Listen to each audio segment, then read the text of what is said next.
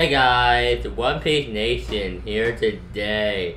And I just wanted to tell you guys that I made a Facebook fan page and you can check out in the description box down below.